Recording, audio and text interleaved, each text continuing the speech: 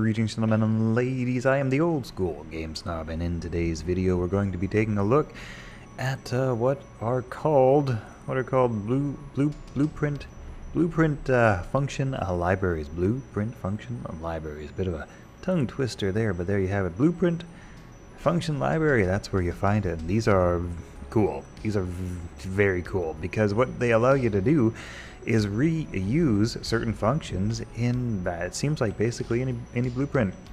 Um, you don't need to even set up the blueprint uh, interface, like with blueprint interfaces as a blueprint interface, or a component uh, uh, like a blueprint component, or whatever the case may be. When you set when you create a blueprint uh, function a library, it just becomes available as a function for any blueprint, which is absolutely very cool. Now here's how to uh, how to do it and how you might use it. For example, for example, let's um, create a new blueprint function. Now I've got my blueprint function library uh, class right here. You just go ahead, of course, get create blueprints and blueprint function library, and then from there you can open up your blueprint function library, and uh, you will have a new function that's automatically created. I can't remember what it's called, unnamed or untitled or something like that. Go ahead and give it a nice name. That makes you happy. If it doesn't, you don't have to. It's up to you. Uh, let's uh, create a new, new simple blueprint function. So I'm just going to call mine BFL, uh, short for blueprint function, and I'm going to call it example. That's what I'm going to do. And all this is going to do is actually just do a little printy print, a little printy, printy string. It's going to say hello, hello, hello you, tube specifically you, but you know, all YouTube in general. There we go. So I'm going to compile and save that blueprint function library as an example. I'm going to pop on over into my character blueprint where I might want to access this from or wherever. You know, I'm just going to do my character blueprint because that's what I'm going to do. Uh, bum, bum, bum, bum, bum, bum, event graph? Is that, am I? Oh, here we go. There we go. I needed to zoom out a bit. All right go I'm just going to put in a new hotkey here, and this hotkey will be O. O for awesome. and this is going to call uh, the blueprint function library that I just created called blueprint function library example, BFL example. Uh, and now when I press Q, what do you think's going to happen? I think you know. I think you know. It's not too complicated. Uh, it's going to say hello YouTube. That's what it's going to do. So that's pretty cool. Uh, additionally, you can do some other really neato things, like, for example, uh, grab some input nodes or some output nodes, as the case may be, and you go ahead and say, for example, you want to collect some variables from, you know, your hero blueprint, your, you know, third-person character blueprint. You want to pass those along into your blueprint function. Uh, go ahead and add some inputs right, into your blueprint function uh, uh, node event, whatever that's called, I don't even know. I'm just going to call this one example one, and that will be a, uh, let's just make it a float, a, number. Uh, also do another one here. Let's do, um, you know, what, let's do an object reference, because that's kind of, kind of useful for all sorts of different things. Where is it? Object, pawn, object reference. There we go. Example one. So we'll just actually call that one We'll call this one floaty float, and we'll call this one here, we'll call that one object, objecty. Yeah, that's what we'll do. Alright, so now we're going to actually do a little thing here. Instead of printing hello YouTube, we're going to print uh, we're to print the value of floaty. We're also going to go ahead and grab the value of objecty because, you know, you could do things like pass along your pawn information into your, you know, your, your pawn object reference or whatever the case may be. So now I've got a couple of additional, actually I guess I better compile that.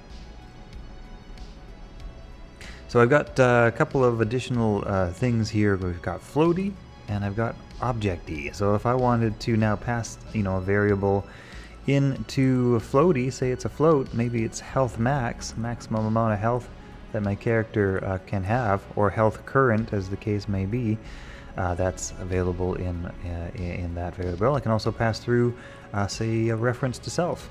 Right? So get self. Let's say, oops, get, get self. That's not the same thing. Get self, reference to self. Alright, so I'm going to go ahead and compile that pop into the game, press O for awesome, and as you can see, it says hello 100, and that is because it shouldn't say 100 and that I plug in something wrong.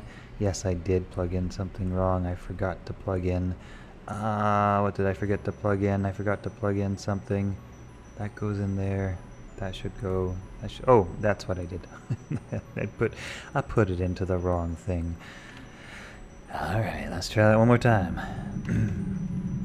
well, is that is that printing? Is that is that printing? Printing? I know what I'm doing. I'm getting a self pawn reference. I'm not getting the actual pawn reference. There we go.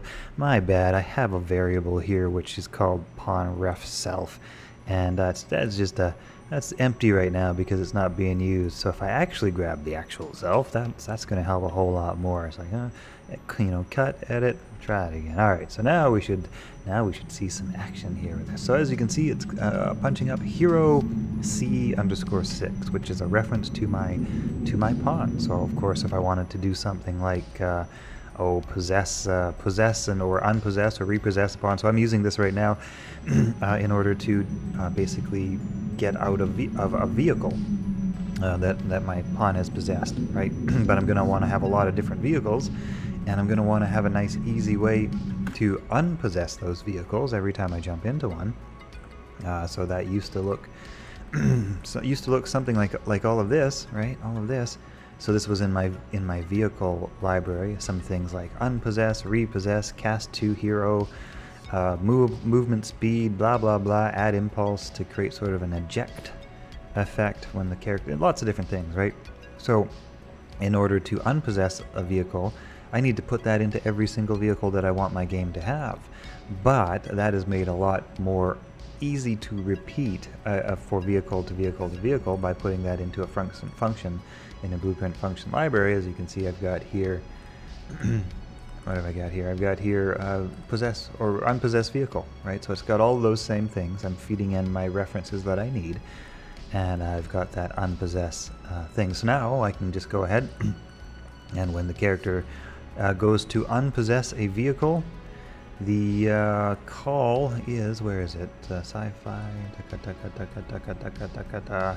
This is, oops, so that's the wrong place to look. I am looking to, oh, where am I looking? Here we go. I'm looking to here.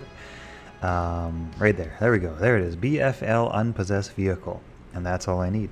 So I can plug exactly this into any other vehicle and uh, basically execute that you know, unpossess, get out of vehicle function over and over and over again. And the nice thing about this is, if I ever need to make any changes, uh, because I find, oh, I want to adjust like the ejection speed or something like that, I don't have to go and then do it 10 times to 10 different uh, pawns, 10 different uh, vehicles that all have that code. Uh, I can just do it once. Just do it once from my blueprint function library. So that is blueprint function libraries in a nutshell, at least uh, as far as my understanding of them goes so far, which is limited because I just learned about these yesterday, but I already like them. See you guys later.